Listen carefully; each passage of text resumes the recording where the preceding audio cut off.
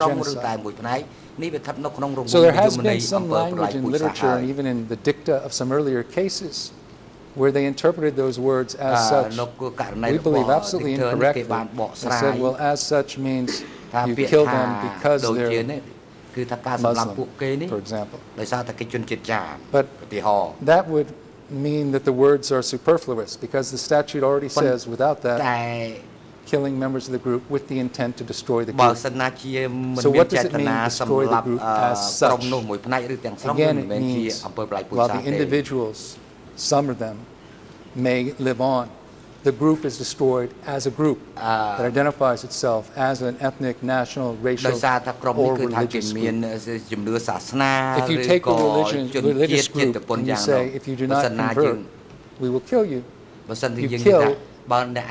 those who refuse to convert.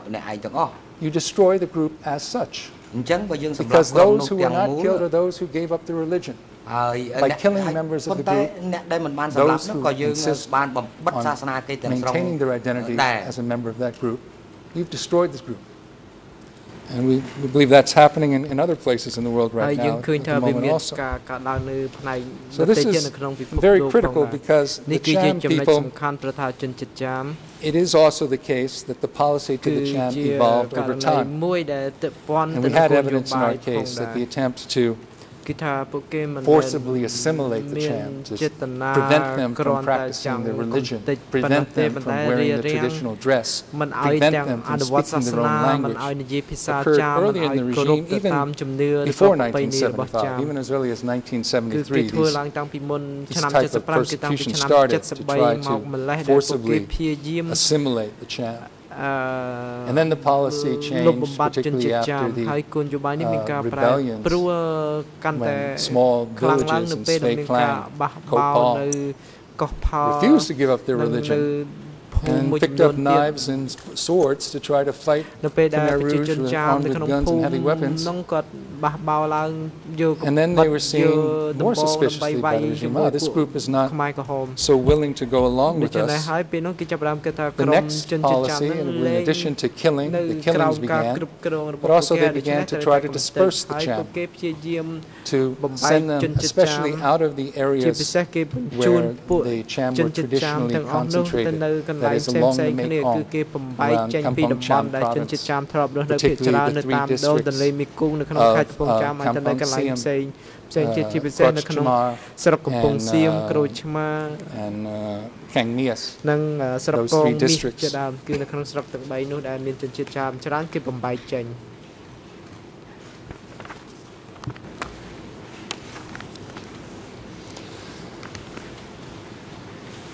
So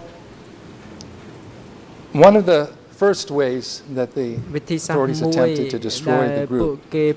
was by forbidding the practice of the religion. Now, the defense uh, in the brief filed by Nuon they point to various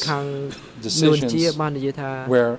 certain restrictions on religious practice have been uh, found to be not violating international law. Things like you cannot pray in the street. However, for example, one of the cases I believe they cite, SAS versus France, provides clearly in paragraph 125 that international law recognizes it's a human right to practice, to manifest one, one's religion. What that case says in paragraph 125 uh, While religious freedom is primarily a matter of individual conscience, it also implies freedom to manifest one's religion, alone in private, or in community with others, in public and within the circle of those whose faith one shares. Well, that's exactly what was forbidden by the Khmer Rouge. For Muslims, also for Buddhists, it forbade the, pr the practice of religion.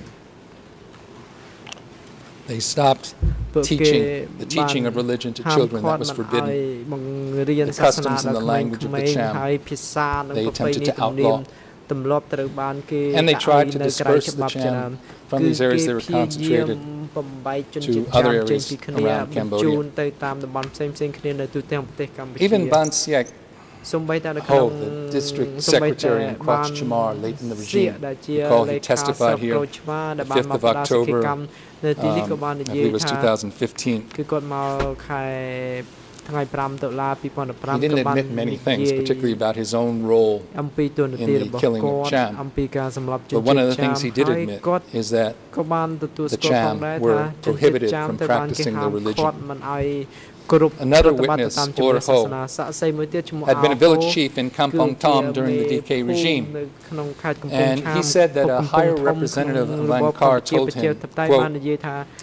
តំណាងអង្គការថ្នាក់លើបានប្រាប់ថា there would only be one single នៅកម្ពុជាគឺមានប្រជាជនតែមួយគត់គឺខ្មែរ there wouldn't be no Cham He testified to that on the 20th of May 2015 he also testified that the Cham were not allowed to stay in their village and they were relocated or dispersed here and there. He said, as for their religion, or we can say also for Buddhism, the religion was abolished. They were not allowed to worship anymore. Him Man uh, testified in this court. He was a Cham from Kang Meas district. He told the court that after, Your Honor, that after the 17th of April Khmer Rouge victory, during the dry season, most of the Cham were forcibly sent to other places. He said, including the, the Hakim in his village, the religious leader.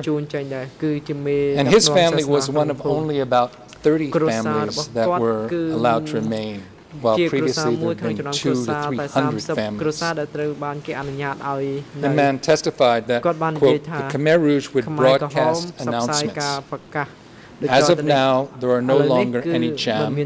and no longer any Khmer. We are all part of the same nation, the Khmer nation.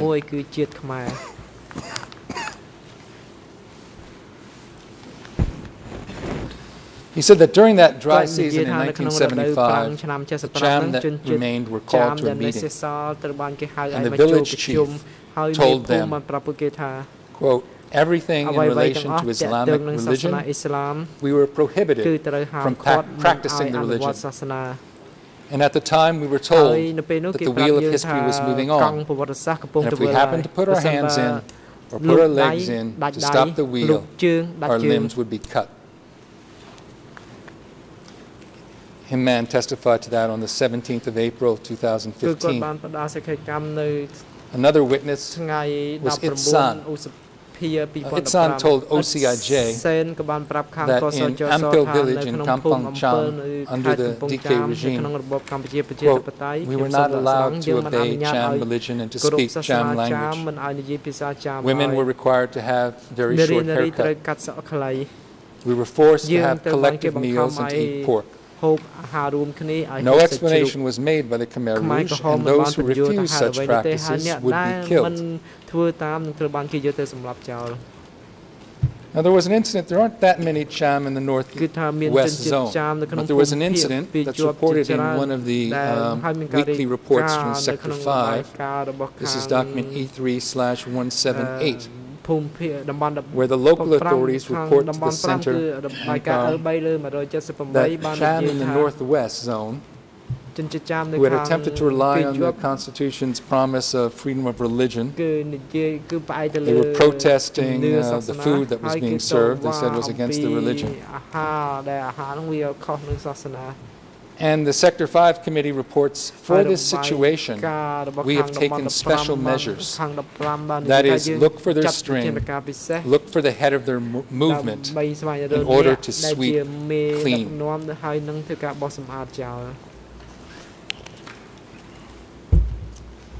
Another way you destroy a group is by targeting specific parts of the group that are very important for the group's survival in the Krstić appeal judgment, they talked about that. In paragraph 12, the appeals chamber said, in addition to the numeric size of the targeted portion, its prominence within the group can be a useful consideration if a specific part of the group is emblematic of the overall group or is essential to its survival, that may support a finding that the part qualifies as substantial within the meaning of the genocide convention. Recall, the requirement is that you attempt to destroy in whole or in part. Cases say the in part has to be a substantial part, substantial in the sense that it affects, could affect the, uh, the remainder of the group. This happened in in the Democratic Kampuchea to the Cham, where the number of Hakim, the Cham village leaders, declined from about 113 to 20. This is from Isa Osman's reports and books. And the number of Tun, the teachers of Islam, from 300 to 38. Isa Osman testified on the 10th of February last year that in the early DK years, 75 and 76, killing was not directed at all Cham, but only at those who refused to obey instructions to give up religion, customs, and language. But that itself can be sufficient to constitute genocide if you target these people who refuse to give up the religion, customs, and language. If you kill all of them, you will have destroyed the group. But in any event, he also went on to say that the policy changed toward the end of the regime as the regime leaders became more paranoid and more deadly. So um, I like to show slide number eight. I talked about the Cham Heartland. Uh, we had a lot of testimony about these three districts, Kampong Siam, Krouch Chhmar, and Kang Meas because they are essential parts of the Cham community in Cambodia. And we submit it's necessary for the survival of the group. They constitute a substantial part whose survival would certainly affect the survival of the whole group in Cambodia. Now, early parts of the regime, as I said, the policy was to break up the Cham, particularly in this area along the river. And we see that in the next slide in Telegram 15 sent by Sao Phim to the center. It's from November 1975. and he talks about uh, the deportation of the Cham. He says, we have deported only the Cham from along the river and the border. The transfer is in principle designed to disperse the CHAM as per our previous discussion. Sao Phim, of course, being one of the members of the standing committee, although he often was away and not attending meetings, a member of the highest policy-making body of the Khmer Rouge, of the DK regime.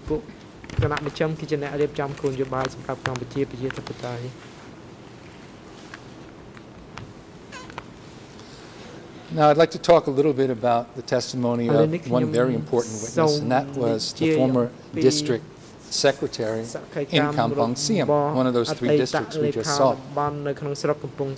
In the Nunchia final brief,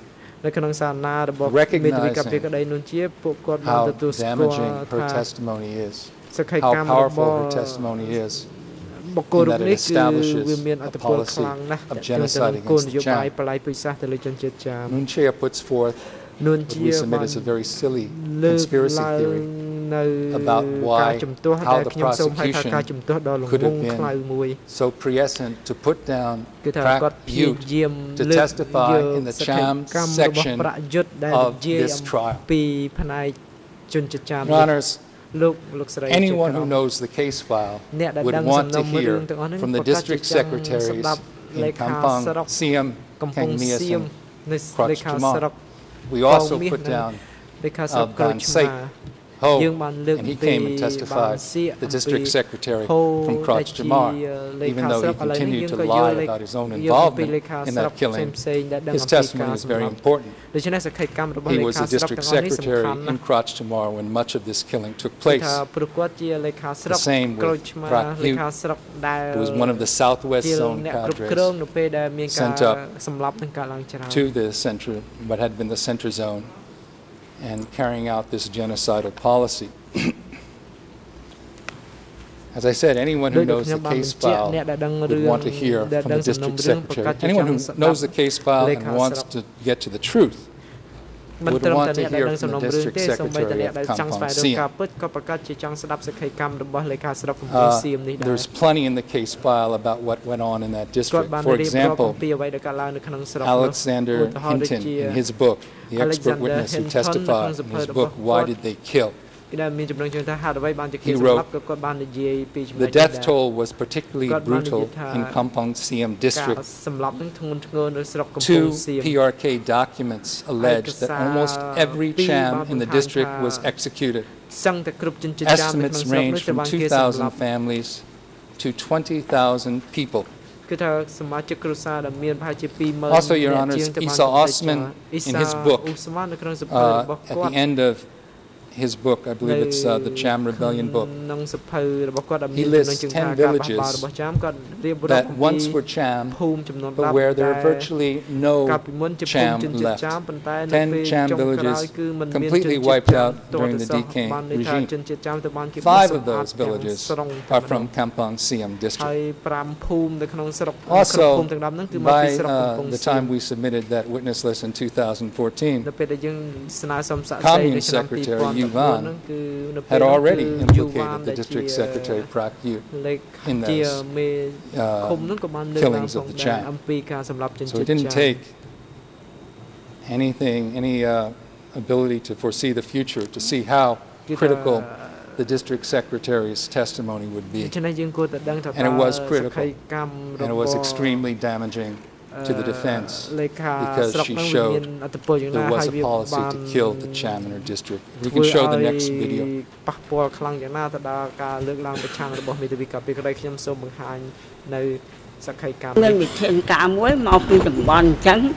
ថាឲ្យរៀបចំការបោសសម្អាតចាមអញ្ចឹងខ្ញុំក៏ចាប់អារម្មណ៍ដែរថាយ៉ាងម៉េចបានជាបោសសម្អាតចាមឆ្ងល់ហើយខ្ញុំក៏មិនបានតន់បានធ្វើសេចក្តីរាយការណ៍ នៅក្នុងស្រុកហ្នឹងឲ្យដឹងច្បាស់ជនជាតិចាមប្រមាណគឺខ្ញុំអត់ច្បាស់ដែរអញ្ចឹងទៅការបោសសម្អាតខ្ញុំចេះរាយការណ៍បន្តទៅថាខ្ញុំអត់តាមបានក្តាប់បានទេចំពោះប្រជាជនចាមនៅស្រុកកំពង់សៀមអឺមិនដឹងគាត់មានប្រមាណអីប្រមាណអ្នកទេអញ្ចឹងសូមឲ្យពូជាអឺពូចាប់អារម្មណ៍បញ្ហានេះផងព្រោះខ្ញុំរាយការណ៍មិនតាន់កើតនេះខ្ញុំសូមជម្រាប អង្គជំនុំអញ្ចឹងគឺខ្ញុំមិនស្ដាប់មិនបានហើយចាំនេះក៏ខ្ញុំមានការចាប់អារម្មណ៍ដែរឆ្ងល់ដែរហេតុអីបានជាចេះទៅយកឈ្មោះចាមហ្នឹងទៅធ្វើអាចយកទៅមានការបោះសម្អាតអញ្ចឹងខ្ញុំឆ្ងល់ដែរខ្លួនឯងព្រោះខ្ញុំចាប់អារម្មណ៍ដែរតើបញ្ហាហ្នឹងតែផែនការនេះដាក់មកពីលើខ្ញុំក៏ចេះតែអនុវត្តតាមផែនការទៅ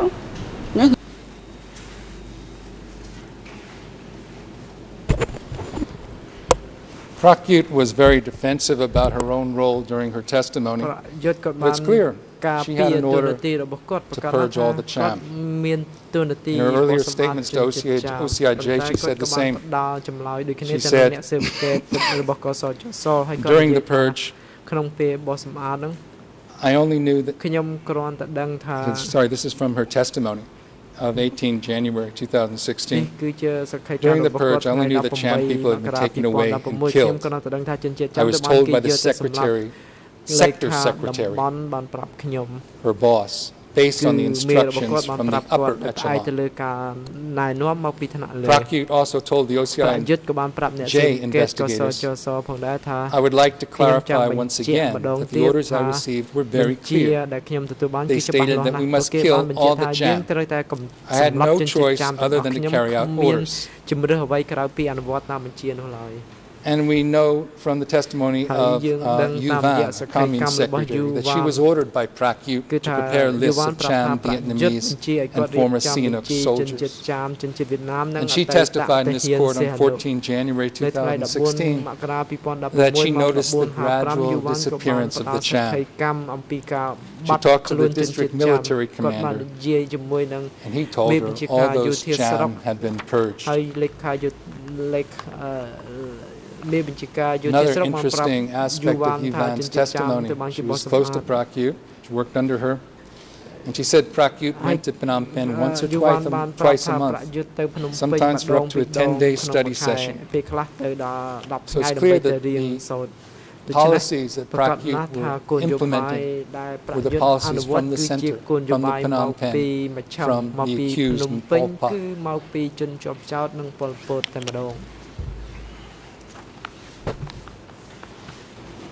track ute, wasn't the only witness who testified about killing of Cham and wasn't only in Kampong Siem. Seng Khoi was a Khmer villager. He was ordered to help transport Cham, women and children to their deaths at the Wat Au Trakuon Security Center. He said he heard the chief of the commune security carrying out the arrest say, quote, we will kill all the Cham people and we will not spare anyone. Muk Mục Seng Lê. It's a civil party. Muk Seng Lê đã chia đám bang from Kampong Siam district. He told OCIJ that at a meeting he heard Prak Yut say,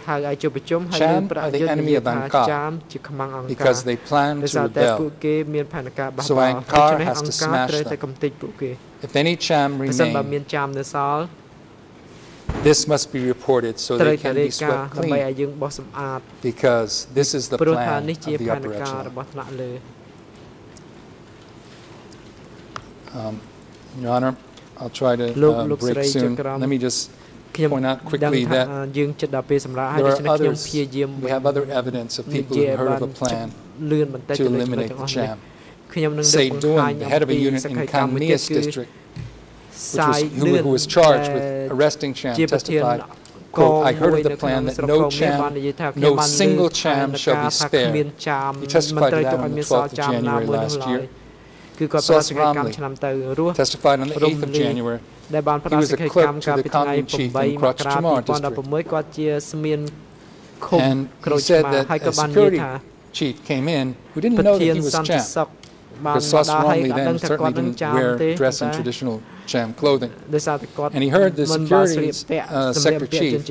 when he heard that 15% of the original Cham in that commune still remained, told him in the future those Cham people would be smashed until no one was less, left. Sos Kamri, uh, was working in a mobile unit so in Kampong Cham. He testified that he attended a meeting in Chamkar Leu district in 1977 where there was a plan about smashing the Cham discussed. And he later saw a booklet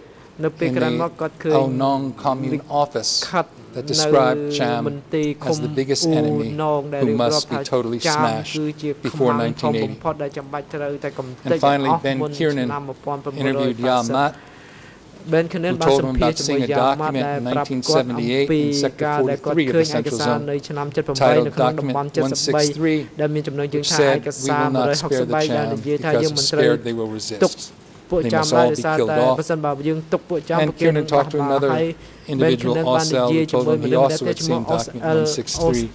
but in June 1978 in the Barre district នៅក្នុងខែមិថុនា78ផងដែរខ្ញុំគិតថាប្រហែលជាយើងដល់ពេលសម្រាប់ឬមួយក៏យ៉ាងម៉េចសូមលោកប្រធានសម្រាប់ Oh sorry I'm sorry I'm confused about the break time សូមសូមទោសលោកប្រធានខ្ញុំយល់ច្រឡំអំពីម៉ោងសម្រាប់ going back to Kampong Siem, Prak Yut was the district secretary. Uh, OCIJ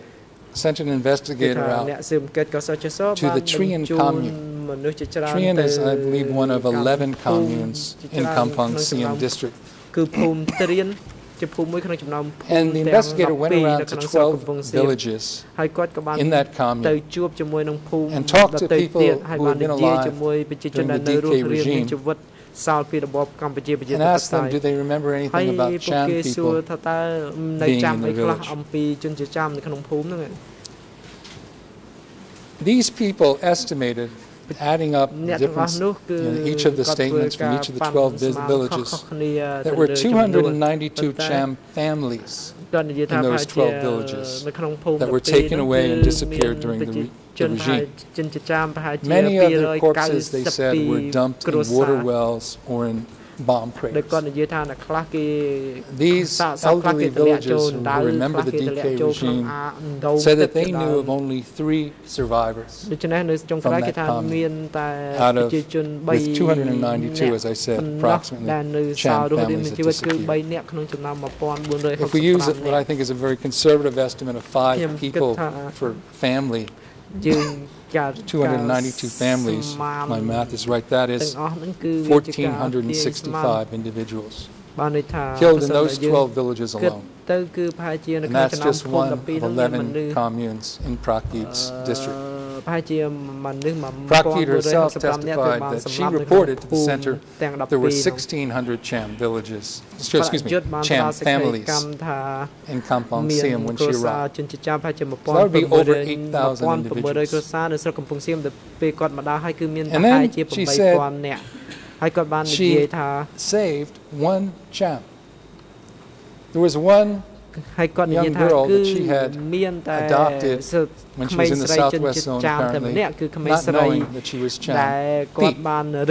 she talked about in this during her testimony. I'd like to play the video to remind you of Prak Yut's testimony about her adopted daughter, Pete.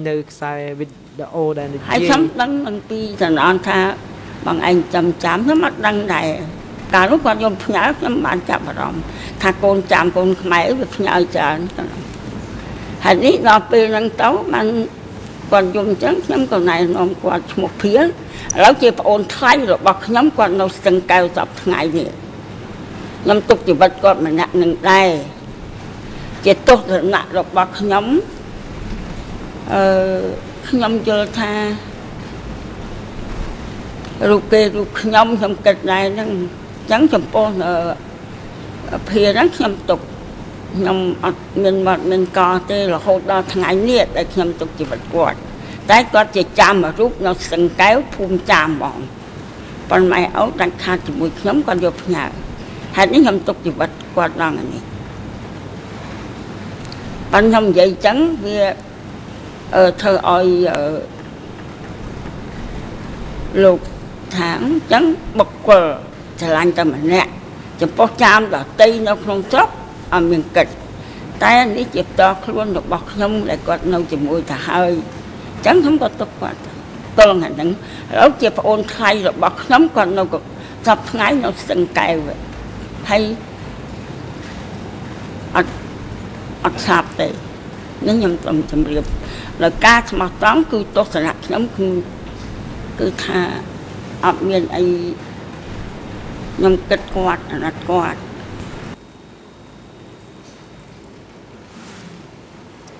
So this is, in our view, very នេះ significant គឺ testimony. ជាសេចក្តីកម្មដ៏សំខាន់បំផុត Prakut saying ប្រយុទ្ធ she បាននិយាយ saved ថា the life of គាត់ Pete. ជួយជីវិតភាព Because of her, Pete is alive. ព្រោះថា Why? មានតែភាពមួយដែល What នៅ would សល់ Pete, what reason would there have ហេតុ been to អ្វី kill Pete? បានជាគាត់មិន There's only សម្លាប់ one ភាព reason. គឺមានហេតុផលតែ Because មួយ she ទេ was Cham, គឺថា គេចង់សម្លា That ប់ was ភាពដោយ enough សារតែហេតុ for ផលតែមួយគឺភាពជាជន killing ជាតិ all the ចាម other អញ្ចឹង Cham គាត់ទុក people តែភាពមួយហើយគាត់ in សម្លាប់ជន Kampong ជាតិ Siam ចាម district. ផ្សេងទាំងអស់នៅក្នុងស្រុកកំពង់សៀម She saved Pete គាត់និយាយថា because Pete had the fortune of ជួយភាព having a ព្រោះ connection to the district secretary. ភាព She survived. មានទំនាក់ទំនង But the ជាមួយ other Cham were targeted លេខាតំ to be បន់ killed. ដូច្នេះហើយគេមិនសម្លាប់ភាព